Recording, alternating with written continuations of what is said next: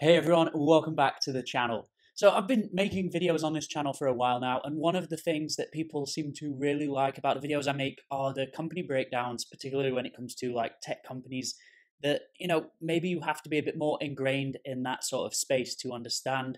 Things like Twilio or MongoDB, I've done breakdowns of those if you're interested, but those types of companies. And so I wanted to make more videos like that, just really going into detail, slight detail, I should say, in 20 minutes or less about tech companies, what they do, who their target market is, and you know what their business actually does. How does it make money? That kind of thing. And so in today's video, we're going to take a look at one of the world's largest cybersecurity firms, that is CrowdStrike. Stock ticker for that one is CRWD. So if you go to the CrowdStrike website and you you try and look at what this company does, actually the website is right behind me right there you'll see it calls itself an endpoint protection platform, or in some documentation, it'll say an enterprise endpoint protection platform, which really does not, I guess, tell you what CrowdStrike does unless you're actually looking for a solution like CrowdStrike. And actually, I'll bring it up on screen because you might not be able to make it out behind me. You can see that there is a full suite of products that are part of CrowdStrike's Falcon platform. These products do a whole variety of things. So we're going to talk about a few of these in a few moments. But yeah, what is an enterprise protection, enterprise endpoint protection platform? So I like to bring it back to, to you, right? So almost certainly throughout your time in using a computer, whether it be Windows, Mac, whatever it is, you've almost certainly at some point installed or dealt with antivirus software, whether that be from a company like McAfee or Norton. You know, you've had this software that scans your documents every once in a while, says, hey, you've been the all clear, or it says, hey, I you know, I found a bad piece of software, I've quarantined it, check it out, let us know if it's actually a virus or if you want to put it back, that kind of thing. You've probably had that on your machine, whether it was given to you or, or, or uh, at your place of work. So, what CrowdStrike does is it takes that idea of needing to protect your computer and it spreads it to the enterprise. Now, an enterprise could have thousands upon thousands of desktop computers that their users have, thousands and thousands of laptops, thousands of servers, thousands of just other little devices that are connected to the network. Now, running a, a McAfee like antivirus on all of these systems is doable, but not really feasible. See, McAfee and, and, and those solutions that run on the device, they take up a lot of resources. And resources are, you know, relatively scarce, especially when you're dealing on, on the scale of thousands of machines. So if you have to install McAfee and it takes, say, 50% of the computer's resources and runs once a day. And that's 50% of your computer's resources that are gone at one time a day. But now you're doing it across the entire stack. Just think of how much you are wasting in resources by running that across all of your machines. So a solution like CrowdStrike says, well, instead of putting everything on the machine, why don't we just use a lightweight agent? And this lightweight agent is, it only takes up a little bit of space, it only takes up a tiny amount of resources on that machine, but it reports everything back to a central system. And so that means that the security professionals at an organization can now monitor every machine that is connected to the network and see what files are passing through, monitor different traffic, set up firewall rules. Everything you would want to do as a security professional is now doable via this tiny little agent that is installed across your entire platform. But once you've got this tiny little agent installed, it can do a variety of things, and that all depends on, on your business. And CrowdStrike is designed to be modular. That means that if you want just to monitor traffic to check for, you know, bad files or possible hacks, maybe some ransomware, you can just install that module. If you want to run firewall, you can grab that module. If you want advanced threat intelligence, you can grab that module. And what's cool about this is there's no additional installation, or, or, I guess there is a little bit, but there's no like really burdensome process if you want to add on another piece to your Falcon suite. You can just deal with the sales team, get it added on, deal with some rates, but it's in there. You already have the software installed across all your computers. You can just turn this one on and begin working right then and there. So let's talk a little bit about some of CrowdStrike's bigger tools or the ones that you know are likely to draw more people through the door. The first up is a tool called Falcon Prevent. This one is the antivirus, anti malware software portion of it. So, this tool monitors traffic across the network, it monitors files, it monitors all kinds of things to check if there are viruses or malware or ransomware, anything like that, hidden amongst the company's files or in its network anywhere. And th- yeah, this tool is is pretty much comparable to your Norton or McAfee antiviruses that you've likely dealt with yourself, except it's designed for you know just humongous scale. And one thing that all of these Falcon tools have in common is that they share this data throughout the entire CrowdStrike network.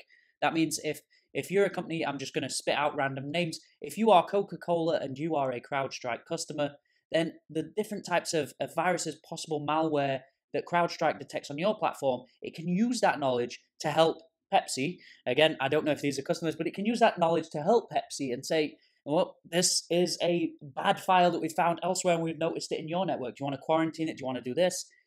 It uses that machine learning and artificial intelligence that it, it generates from all of its customers to piece together a more sort of cohesive antivirus solution.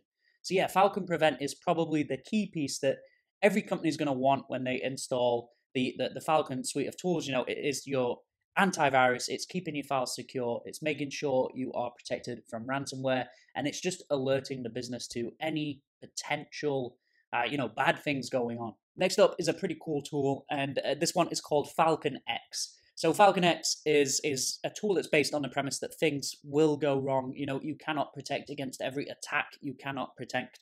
You can't protect against everything. Something will go wrong. It is inevitable. And what Falcon X does is it helps you automatically start to piece together why things went wrong and uh, get resolution steps in place and, and get preventative measures in place for future sort of attacks of a similar nature. So this tool allows a company to start triaging issues earlier. It helps them get that triage done faster with, with machine learning. Again, it, it automates the report generation steps. It combines that with human intelligence so the security team at your business can get involved and, and add their own intellect into the mix. It pieces all that together so, yeah, you can get triaging started quicker, you can get it done faster, and you can help prevent future attacks. And there are more advanced, I guess, offerings from Falcon X if you wish to pay more. You can get daily intelligence briefings on, on different hackers from around the world, different hacking groups. So if a if a particular hacking group is known to engage in certain attacks or is looking to target certain businesses, you would get that in your daily intelligence briefings. And then again, there is a next level that will uh, tailor that research towards your particular business. And that means that if you work in maybe creating, I don't know, on these uh, it's on the spot thinking is kind of difficult while I'm trying to record. But yeah, if you specialize in, in creating a, a certain type of software, let's just say social media tools, you're a social media tool business. Well, CrowdStrike can tailor its sort of intelligence reports to, you know, these particular individuals are looking for social media tools. They're attacking them in this way, and so that your business can start to, I guess, prepare for attacks, prepare to start looking at those attack vectors and, and start resolving them before they become issues. The third tool I wanted to mention is Falcon's Firewall Management, and a firewall, for those that don't know, is like a a, a sort of service that sits in between the internet and your business. So you say, you know, if, if a connection is coming in and it's coming from this place, then block it. So maybe you want to block traffic from a particular country or a particular region because that region is known for for hacking your particular type of business. Block all that traffic. Block traffic from this IP address. That's firewall, I guess, in a nutshell. And so Falcon has a firewall tool built into it. And yes, it is not as full featured as the likes of a hardware firewall from, from a company like Palo Alto Networks or various other firewall vendors. But what is cool about Falcon's firewall is that you've already installed the Falcon agent across all of your enterprise. So you don't have to do any additional legwork. You now have a firewall that can protect all your different endpoints, all your different machines. You your big businesses, they're going to have firewalls everywhere. But if you are, you know, if, if you're just starting up and you're just trying to get into the security game and you're just trying to build this security toolset out, then Falcon's Firewall Management is a great little tool to, to get started. You've got it everywhere, it's already there, it's already ready to be configured. So, yeah, as I mentioned earlier, CrowdStrike's Falcon has a lot of tools. We've only talked about three of them. Let's throw up this slide again. As you can see, there's a lot. And the good thing about CrowdStrike's Falcon platform is that a business can come and really tailor its needs. You know, if it, if it needs one area more than others, it can just not pay for all those others. But also, what's great about it is is if it decides, if that business decides, you know, just taking firewall for instance, if it decides it doesn't want the firewall tool right now, but then a couple of years down the line it decides it does, it's super easy to just tack on because you already have the Falcon agent deployed across your entire network. So outside of Falcon, CrowdStrike do offer a bunch of different services as well, but these are as you need them services. These are not like recurring revenue, massive cash generation businesses. These are, yeah, these are not what give CrowdStrike its 50 plus billion dollar valuation. These are just an if you need it kind of thing. If you are breached and you need assistance to get back on your feet, if you are breached and you need to understand why, if you are breached and you, yeah, you just need some help, CrowdStrike do offer those services. They send over a team that is fully versed in the CrowdStrike tooling, fully versed in security practices to help companies get fixed, get back on their feet, communicate to people that are affected, that kind of thing it's a good little, I guess, tangential business to have, especially if uh, it helps bring customers in the door, which this definitely can. You know, if a if a company does not have any sort of security software in place and they have a breach, they call up CrowdStrike to fix it. CrowdStrike's like, "Yep, we can come and fix it." By the way, while we're here, maybe you should set up this Falcon tooling. We'll help you get that done too. There you go, another customer, another addition to that CrowdStrike flywheel. So, on the topic of customers, it generally tends to be the big companies that are using CrowdStrike, at least right now. These are, you know, multinational companies with a lot to protect. They need a tool that can cover their entire suite of machines and servers and virtual machines and all that. So it tends to be the large, big, big mega companies that are using CrowdStrike right now, which is a good sign, right? That means that there's trust from these big enterprises. That means that, yeah, they're putting the trust of their business, they're putting the trust of even their customers in the hands of CrowdStrike. There are competitors as well. We've mentioned Norton. Norton do have their own product. It's called Carbon Black. McAfee has its own product. There's a company called Sentinel One that has its own product. So there's a lot of competing products in the space. There's also a lot of small firms that will that will build products. There's also things like Palo Alto Networks that will uh, you'll install hardware-based firewalls. There's companies like FireEye to monitor network traffic. There are a ton of companies in this space, but CrowdStrike is doing well by having that small agent that can be deployed anywhere throughout the enterprise. All right, so let's talk about risks that CrowdStrike may face as a business, and we need to talk about this especially because CrowdStrike is trading at such a massive premium. That means it's it's pretty much priced for success its success is all but guaranteed by the market, especially when you, I've mentioned it earlier in the video, but you consider that this company makes 1.3-ish billion dollars in revenues over the last 12 months and is trading at 55 plus billion dollars today.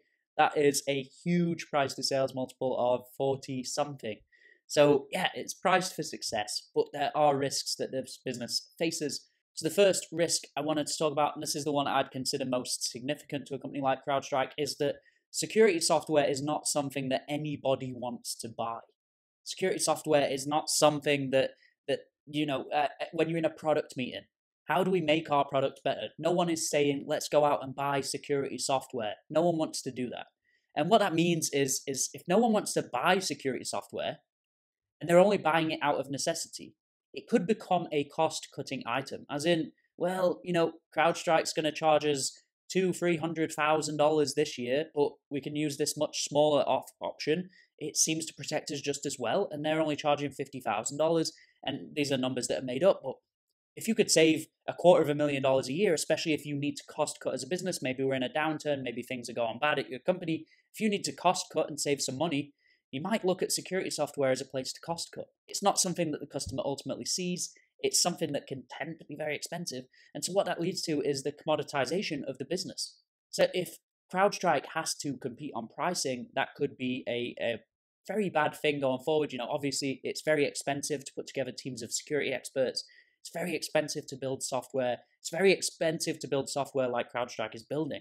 And so if they have to cost cut because others are competing on price and offering similar solutions at a much lower price and offer the same benefits as CrowdStrike does, that could be a problem over the long term. Now, CrowdStrike mitigates this by having a excellent flywheel. mentioned it earlier.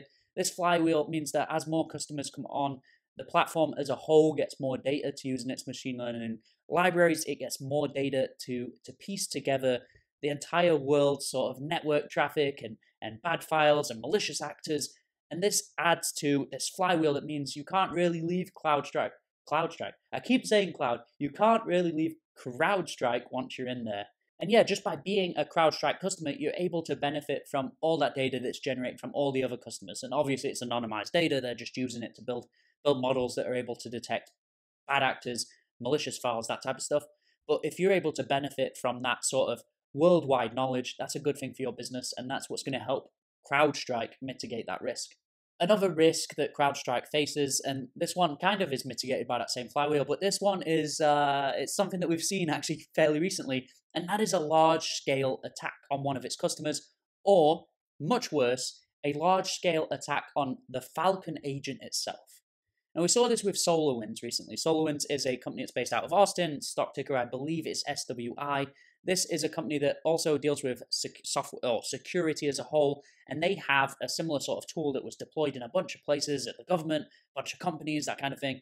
And that tool was hacked, which meant that the attackers now had access or or could do stuff at all these different places that had this software installed.